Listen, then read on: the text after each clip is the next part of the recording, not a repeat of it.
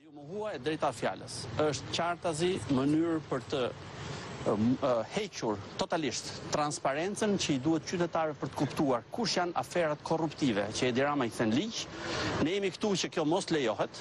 Ne do të vazhdojmë që të respektojmë kushtetutën dhe mandatin që na kanë dhënë populli.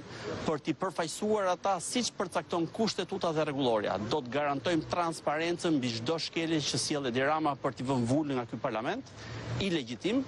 Nuk do të pranojmë në asnjë mënyrë që nëpërmjet këtyre mjeteve nën gjoja pretendimin që për arsyet e pandemisë nuk duhet të zhvillohen mbledhjet fizikisht, ne do ta refuzojmë, do të jemi këtu për të përfaqësuar shqiptarët dhe për të ndaluar Edi Ramën në përpjekjet e tij që ta kontrollojë këtë shtet në të gjithë qelizat e tij.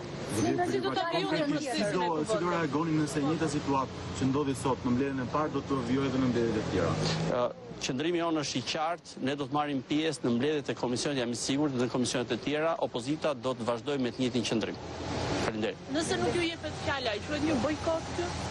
Jo ne ishim prezent. Ne ishim ne ishim ne ishim prezent në uh, mbledhjen e komisionit. Po nëse nuk flisni dhe bojkoti, bojkoti nuk mund të jetë kurrë një vendim i Edi Ramës. Ne jemi prezent për të kundërshtuar pikërisht. Atëre kjo është problemi që duhet merret media dhe duhet ta nxjerr uh, me transparencë plot. Majoranca Edi Rama po i mohon opozitës mundësinë që të marrë pjesë dhe të kundërshtojë në Parlament të gjitha aferat që ai përpiqet t'i kthejë në ligj dhe në këtë mënyrë më pas të zhvasë shqiptarët ditë për ditë. Faleminderit.